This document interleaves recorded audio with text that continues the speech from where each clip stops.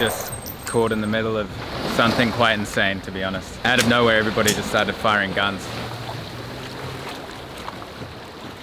So welcome back to the capital city of Lebanon, Beirut here. Uh, so the last couple of videos we've been covering the situation on the ground here in Beirut after the explosion which left six to 7,000 people injured, 200 killed and 300,000 homeless. Today we're going to go out of the city up to Tripoli which is a, a, city with a pretty intense history, like many places in Lebanon. It is an interesting city, uh, and I want to get the perspective of the locals there of the situation in Lebanon here at the moment because if you're not familiar with the uh, economical situation of Lebanon, the economy here is just headed straight for the ground. The banking system froze in 2019 and completely collapsed. Many people left with, you know, thousands and thousands of dollars frozen in bank accounts. The healthcare system's crumbling. If you saw the last video, people are finding it hard to just access the most basic of medicines, not to mention food and uh, other things like that. So the situation here is absolutely dire, but the people are so strong, so positive. On top of that, they're so hospitable towards foreigners like me. They do everything they can to make sure you're comfortable and they do it with a smile on their face, which in the face of this adversity, it's uh, just quite something to, uh, to see. So you will see the fight of the people today and you will also see a different city than Beirut. So let's head to Tripoli, up the beautiful coast of the Mediterranean Sea and uh, see who we can meet. I'm sure we're going to meet some beautiful people today.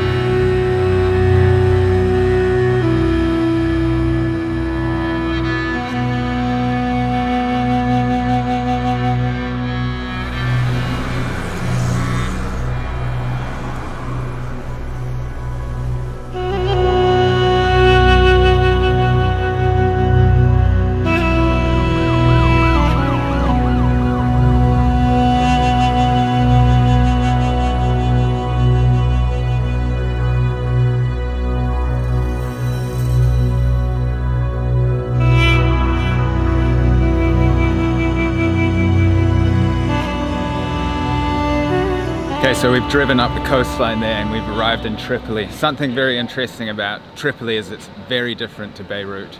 It's a lot more raw and more old style there's a lot of evidence of the civil war.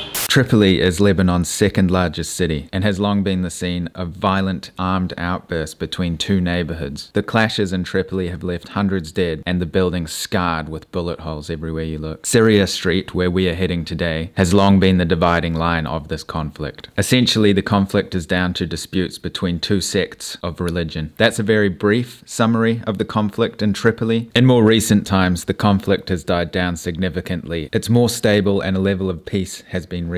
But that doesn't mean that some of the locals here still don't have access to weapons. As we walk deeper into the streets of Tripoli, we end up getting caught in a dark situation. Up here you can see the shelling of the buildings all around here, like right in front of me. I'll show you right now.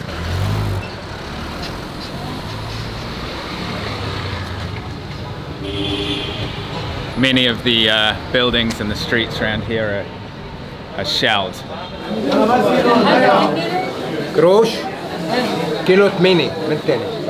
So this is tripe, which is, uh, is it cow's intestine or sheep? Yeah, cow's intestine. Mm -hmm. Kidney. Kidney. Uh -huh. He's almost 75 and he's been uh, working for this since he was 15. هذا السمك شو؟ عملة عملة؟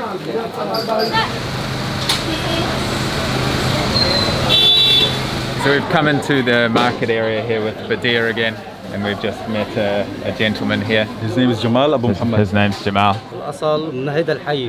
He's been here for the past 50 years. He's, he's 50 years old. He's been here all his life. Yeah. So he must have seen many different stages of Tripoli. How is the current moment compared to the past? Is it a good time to be living here or are there difficulties or is it positive? The situation currently is really really difficult nowadays especially because of the inflation and the dollar exchange has been here for the past 50 years as mentioned but these are the most difficult times that they're passing through right now because of what's happening in Lebanon and economically. He's got four daughters. Things are getting really really tight for him to carry on and, and to work. Due to the exchange rate it's, it's very difficult.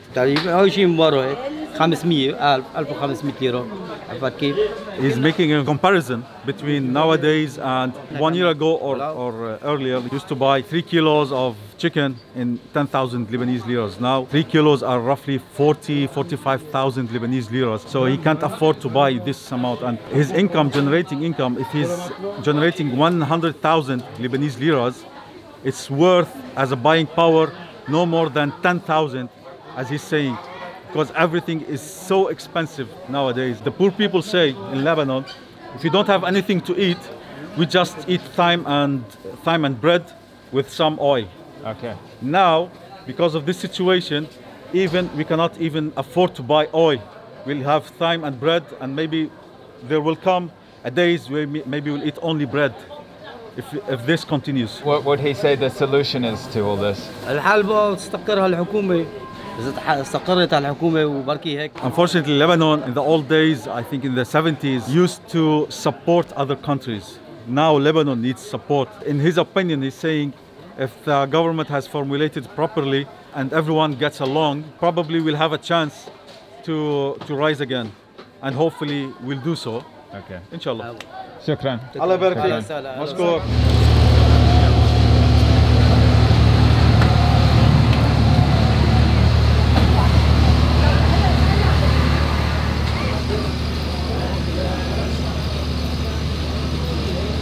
Okay, so we've come to a bakery here. بسيم مصري عمري 16 سنة Yassin. His name is Yassin, 16 years old. He's the son of the owner of the place. He started working here since he was very young. He used to wo- to help his father in summer, but now after he reached seventh grade, he dropped dropped out and he's uh, into business with his father. And do you like living in Lebanon? لكن ما في أحلى من لبنان ما بدنا نعيش لكن yeah, he loves living in Lebanon.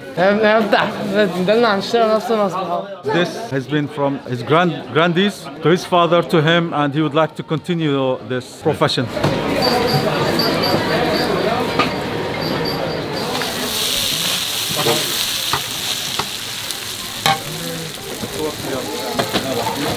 شكرا لك.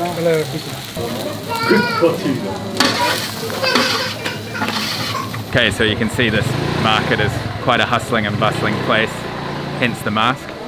Uh, but the interesting thing about these really tight streets here is that people live above them. So I'm just going to give you a bit of a, a sneak preview behind the scenes here.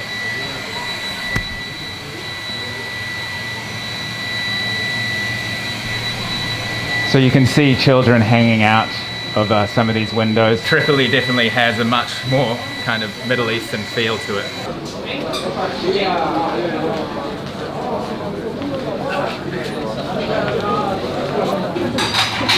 It's called majoua, made of semolina, sugar, rose water, and cheese. It's made of, of wheat. Wait. It's called majoua. in Tripoli, traditional uh, sweet Not bad. Cheesy, little bit chewy. Sometimes they put it in bread as well, right? Yeah, they put it in bread like kunafa.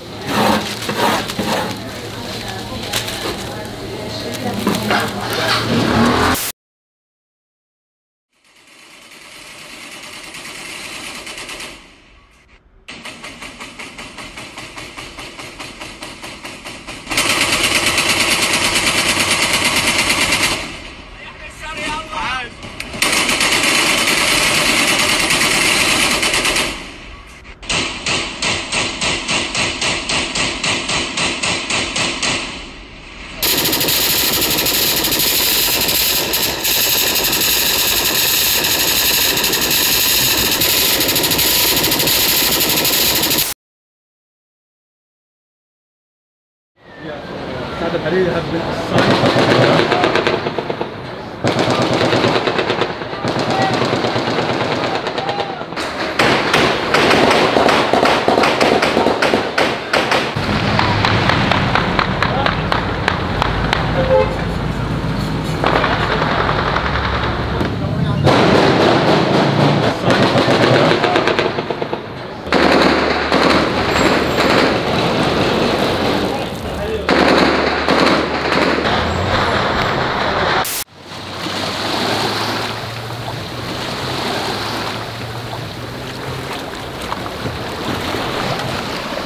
not quite sure what to say. Basically, there was a what they call a celebration of re-election of one of the leaders here, Prime Minister. And uh, out of nowhere, everybody just started firing guns.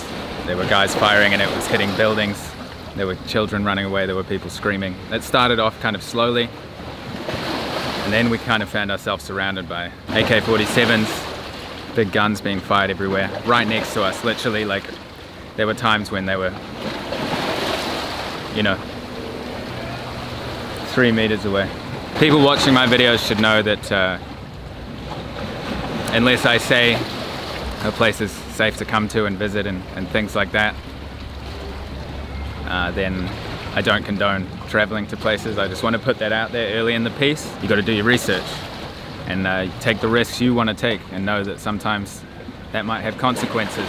There was a there was a point where we were taken into this room by this uh, local political guy helping us out. He saw that you know the situation we we're in, kind of in the middle of all this wildfire essentially. This guy just came out of nowhere and he was just firing bullets. And uh, some of the bullets hit the building, you know, and there's families in there. I've heard reports already six injuries. I don't know if that's increased. I just did a, a, an interview with a guy, local guy, asked him his perspective of why this is happening. So I'll show you that interview now. So after that tense uh, situation there, uh, here with uh, Fahad, who's been uh, showing us around Tripoli, today. We're very grateful for him because he's got the street smarts and knows how to handle to me a crazy situation but to you this is somewhat normal yes very normal and so how often would people just start firing in the air hitting buildings burst pipes spitting out water on the ground like is this a frequent thing yes no one can put them in jail so they do what they want when somebody's firing a gun you know pulling it up by their side and they don't wait until it's vertical. Some of them are pulling them up and they're hitting pipes and they're hitting the side of buildings. They're giving it to, to kids. Near children. Yes. Near, near families. Like there must be people sitting in their living rooms and of course, a few bullets will come into their house right now, True. above our heads. Right now. So, you know, we could have been in there meeting a family, having lunch, and there could have been a bullet coming. They don't have, they are brainwashed. We, we don't understand why they do uh, this. Yeah. I told you, they are celebrating, but what the purpose? Obviously, I was a bit shocked then, right? It was quite shocking because you, you're very close to somebody firing an AK-47, yes. you know, meters away from you. Your whole chest is shaking, you feel it through your whole body. It's very loud. Yes. But you, you're like, oh, another day. I told you I was a paramedic. Right. Uh, I used to be in these areas. Uh -huh. uh, from 2011 to 2014, 15. They raised them from from first year to make them brainwashed and without culture. So as soon as they're born, they're, you know, brought in by the idea that this is for the best thing and they're, they're, brought up their whole lives to believe that yeah, we don't, we this don't is change, how you behave. We don't change our, politic, uh, our politician. That we made them in, uh, in each ele election, we repeat them, we repeat them, we repeat them. People are killing themselves, shooting on their neighbors they should be eliminated to raise another generation. Your view on, on Lebanon is obviously quite dark, so you're going to stay here? Or are you thinking of I time to go? I love Lebanon. Yeah.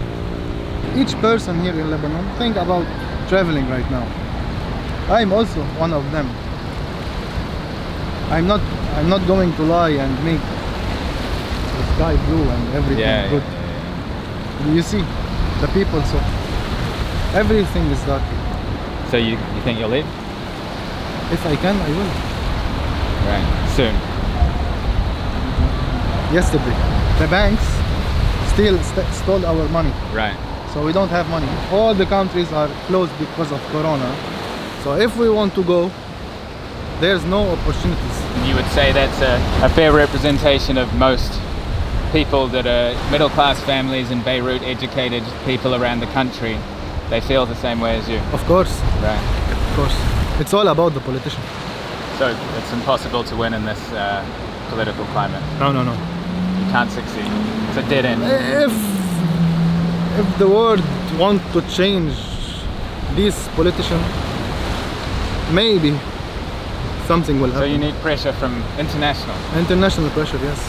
And are you worried about saying these things? Let's say if somebody sees you, watches this video and sees you saying these things. What I've noticed is it seems that people are quite vocal about, they're, they're not too worried about saying things on No, camera. no one is worried. Yeah. Dying with a gun or in a prison is better than dying without food and see your parents or anyone who know you know is uh, don't have food or anything. I mean, it's just, it's, it's amazing your, you know, kind of persona. Like we're talking about the darkest things in humanity and you're smiling right now. You understand that's quite crazy from my perspective, right? Of course, Yeah. But I mean, you, you're just, people are so used to this. it's it's a smile of losing hope.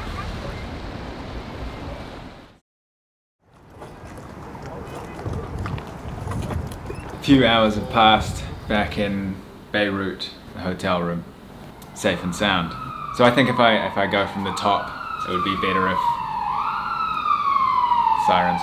It'd be better if uh, I think it'll be better for you to get an understanding of uh, how I got myself into this situation. So basically, in Tripoli, meeting the locals in the market area, I had been to that exact market meeting locals two and a half years ago at the start of 2018. So I was familiar with it, I was comfortable, nothing popped off in 2018. In 2018, the situation in Lebanon was drastically different. I've asked multiple Lebanese people today to really get that from a local perspective. Lebanon has completely gone off the deep end in that time. Always has been problems, don't get me wrong. But then it was a bit more safe for tourism. Nowadays it's only kind of recommended for humanitarian workers or we're doing fundraising projects here, etc. So we're walking in after a few interviews and things, you see we hear gunshots and you know at first it's like, oh, you know, what's that? Just in the distance or something, maybe just a one off and then they start to get closer and heavier and heavier more frequent. We carry on walking through the streets. So keep in mind that this part of Tripoli we were in has got a very heavy, deep history. We came out of the market and we were on a street that had shelter on the side, so we were keeping to that because some people got hit by bullets in the back today. It's quite ironic, but apparently where we were was one of the safest places, which was, you know, in the eye of the storm essentially. We were meters away from men in the middle of the street just firing off AKs. There was people driving past us, one guy on a moped, another guy with an AK on the back of the moped, face to face. Like I was saying before, a local government worker saw our situation, he said, come in, come in. So we went into an, his office, then we heard just this guy ripping bullets like just right outside the office there. So the whole idea of the celebration is to fire up on a slight angle towards the sea, right? But it wasn't happening. This guy's pulling up his gun and he's firing like when it's about at this level. We're in a street with uh, you know five story buildings on each side. He hits a pipe, the pipe bursts out, you can see in the footage here.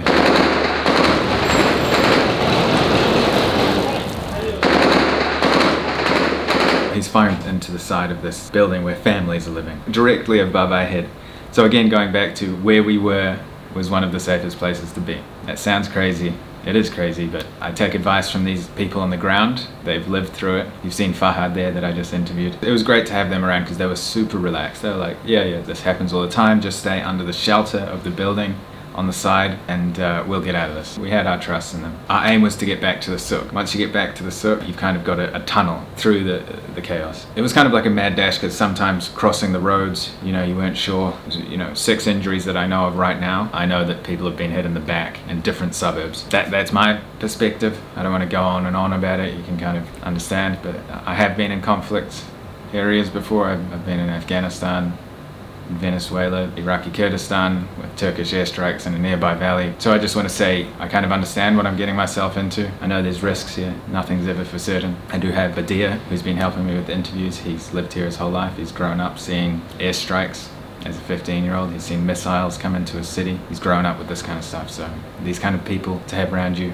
in these situations are vital, you know. Essentially, I'm not condoning any kind of uh, extreme travel. I never have. I promote travels to uh, certain countries that I believe are safe. Today in Tripoli, I would not recommend anybody to travel there. Do your own research. The people here, you've seen the interview there, that's, uh, he's given up hope. I've met uh, other people in Beirut that haven't given up hope. I've, I've met everybody in between.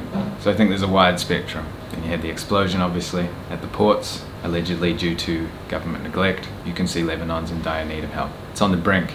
There's a famine predicted by the end of this year. The main food supply, the main vein into the country, the port, blown to a million pieces. All the food, that's where it came. So now there's limited resources coming in. The past videos I've made where we visited the blast sites and we visited collapsed buildings, people have got no medicine, people that need this, this medicine to survive. Then there's food shortages, clean sanitary water. Then there's refugee camps. Country of six million people supporting several million refugees. It's a completely different picture to at least what I saw in 2018. Obviously, like I say, there were problems, but it was a bit more stable. Imagine you got all your savings in your bank account, your life savings.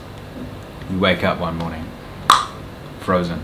So I'm going to leave a link below to the campaign I'm doing here for the Lebanon crisis, which is helping support people in Lebanon that really need it. Whether it's the people that need the medicine, the elderly, whether it's the children that need the food, families, people's houses have been destroyed in this explosion, 300,000 homeless. This money is going to help all these people. If you can, again, I know it's a difficult time for everybody. COVID's still out there. It's another thing is COVID's sitting on top of all the people's heads here as well. The feeling I get is, uh, yes, it's, it's a worry, but it's a distant problem when you've got things right here, you know? When you don't have a house, medicine that keeps your mother alive, when you don't have food.